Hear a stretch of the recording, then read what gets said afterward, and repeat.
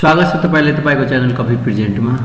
हिजोको भिडियोको part two लिएर आइसकेको छु साथीहरू। कुनै पनि पढाइ पढाइ जब तपाईँ गर्नुहुन्छ भने एक्टिभ पेसिभ तरिकाले पढ्नु अब यो एक्टिभ र पेसिभ के हो? यो कुरा यदि तपाईँ बुझिहाल्नु हो भने तपाईँ राम्रोसँग पढ्न सक्नुहुन्छ। एक्टिभ भनेको हामी जे पनि कुरा पढ्नुहुन्छ या गर्नुहुन्छ भने त्यसमा पुरा भित्र डुबेर हामी काम गर्नुहुन्छ त्यो हो एक्टिभ यानि कि तपाईँ पढ्नुहुन्छ भने पुरा भित्र डेप्थमा गएर पढ्नुहुन्छ भने त्यो के भयो? एक्टिभ र तपाईँ बाहिर बाहिरबाट पढ्नुभयो भने त्यो के भइहाल्यो?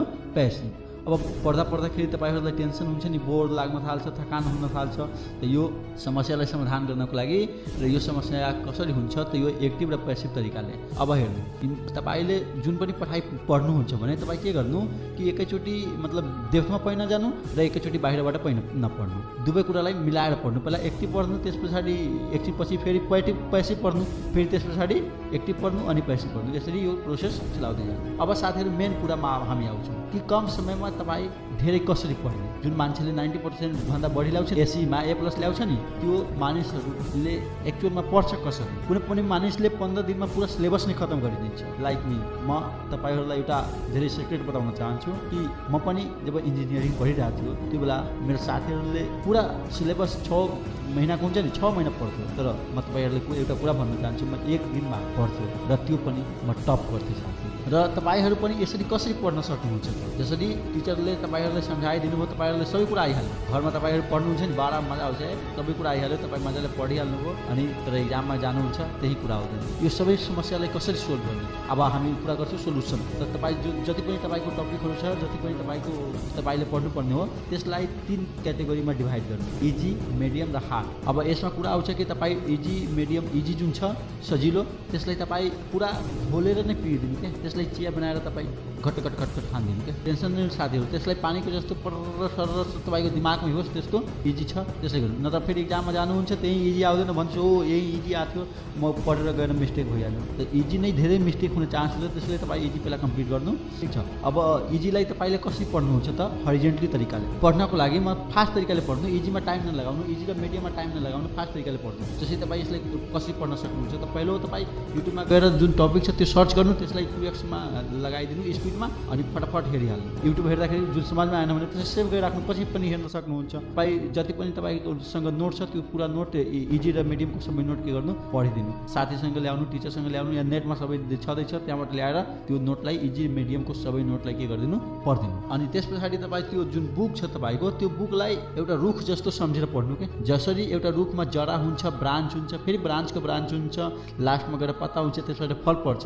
त्यस्तै नै तपाईँको किताब एउटा बुक हो एउटा बुक जरा जस्तो हो रुखको जरा जस्तो हो त्यस्तै तपाईँको त्यसमा के हुन्छ च्याप्टरहरू हुन्छ त्यो ब्रान्चहरू हो। अनि त्यो च्याप्टरहरू पछि टपिक हुन्छ हेडिङ हुन्छ सब हेडिङ हुन्छ लाइन हुन्छ अनि लास्टमा त्यो लाइनले एउटा कुरा बताउँछ र त्यसबाट किताब बन्छ। अब म तपाईँहरूलाई गोल गोल किन घुमाइरहेको छु? यसको मतलब साथीहरू तपाईँ पुरा किताबलाई सम्झिहाल्नु। पुरा किताबलाई जब तपाईँ सम्झ्नुहुन्छ अनि त्यस भ्यालु पत्ता चल्छ तपाईँहरूलाई। एक्चुअलमा हामीले किन पढ्नु पर्ने हो? सबै कुरा ओभरअल भन्छ नि ओभरअल नलेज तपाईँले थाहा भइहाल्छ कि यसबाट के हुन्छ? अनि त्यसबाट मोटिभेसन मिल्छ। मोटिभेसन मिल्छ भने तपाईँ पढ्न सक्नुहुन्छ। यसको बुल प्रिन्ट तपाईँले थाहा हुन्छ। सबै वाच आउट गर्नु रिड आउट गर्नु। त्यस पछाडि अनि त्यस पछाडि ओभरअल तपाईँलाई नलेज भइहाल्छ। अब तपाईँलाई जुन त्यो हार्ड लागिरहेको छ त्यसलाई भर्टिकली तरिकाले पढ्नु। यानि कि डिटेल भर्टिकली भनेको डिटेलमा डेप्थमा गएर पढ्नु। त्यसमा पनि जुन इम्पोर्टेन्ट छ आफ्नो टिचरलाई गएर सोध्नु कि कुन कुन इम्पोर्टेन्ट हो त्यो इम्पोर्टेन्ट पहिला लिस्टिङ गर्नु। तपाईँ इम्पोर्टेन्ट पत्ता लगाउनको लागि तपाईँ प्रिभियस क्वेसन इयरको तपाईँ पढ्न सक्नुहुन्छ त्यो पढ्नु आफ्नो साथीहरूसँग सोध्नु अनि त्यो जुन इम्पोर्टेन्ट छ त्यसलाई के गर्नु रटिहाल्नु त्यसलाई समझ्ने प्रयास गर्नु। समाजमा आइरहेको छैन भने त्यसलाई तपाईँ जहाँ सुत्नुहुन्छ जहाँ जानुहुन्छ बढी समय जहाँ स्पेन्ड गर्नुहुन्छ बिताउनुहुन्छ त्यहाँ त्यो पेपरमा लेखेर टाँसिदिनु अनि तपाईँलाई त्यतिकै त्यो आउन थाल्छ। बार बार तपाईँ हेर्नुहुन्छ अनि त्यो अब हामी कुरा गर्छौँ साथीहरू पार्किन्सन लको। यो लले के भन्छ? कुनै पनि काम जति समय दिनुहुन्छ नि त्यति समयमै सकिदिन्छ मान्नु कुनै पनि काम कसैलाई दिनुभयो दस दिन दिनुहुन्छ त्यो आलटाल गरेर दस दिनमा सकाउँछ या ठेकापट्टा लिएर काम गर्छ नि तपाईँ तिन दिनमा दिनुहुन्छ तिन दिनमा पनि सकाइदिन्छ। अब यसलाई तपाईँ आफ्नो पढाइमा कसरी उतार्नुहुन्छ? जुन पनि सब्जेक्ट छ त्यो टपिकहरूलाई के गरिदिनु डिभाइड गरिदिनु त्यसले प्रतिदिनको हिसाबले। कि आज एक दिनमा मलाई कति पढ्नु छ? टोटल पेजको हिसाबले तपाईँ डिभाइड गर्नु आज मलाई कति पढ्नु छ? भोलि कति पढ्नु छ? टिटी रोबोट जस्तो फास्ट पढ्नु। अब कसरी फास्ट पढ्नु? पढ्ने स्पिड कसरी पढ्नु छ स्पिड पढ्नको लागि तपाईँ के गर्न सक्नुहुन्छ?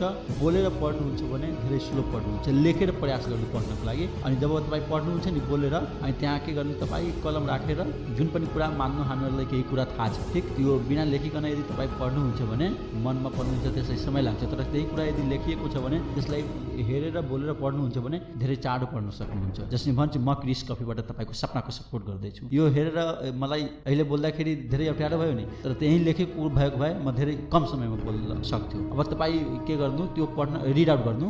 रिड म पढ्नको लागि भनिरहेको छु त्यहाँ रट्नको लागि भनिरहेको छुइनँ पढ्नु। पढ्दाखेरि तपाईँ त्यसमा आफ्नो फिङ्गर राखेर पढ्न सक्नुहुन्छ वा पेन राख्नु पेन्सिल पेन्सिल राख्दै जानु अनि त्यो पढ्दै जानु फोकस गरेर।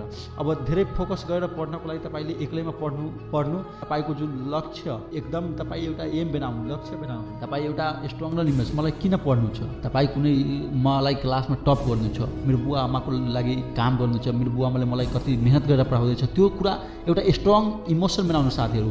अनि तपाईँ मजाले आ मेरो समय बदल्नु छ मेरो समय धेरै खराब छ त्यसको लागि मलाई पढ्नु छ। यो एउटा स्ट्रङ इमोसन बनाउनु साथीहरू अब यसमा म क्रिस कफीबाट तपाईँको सपनाको सपोर्ट गर्दैछु। तपाईँले मलाई यति समय त्यसको लागि धेरै धेरै धन्यवाद। भिडियो राम्रो लाग्यो भने लाइक सब्सक्राइब एन्ड बेल आइकनलाई थिच्न नभुल्नु होला see you in next video तबसम्मको लागि टेक केयर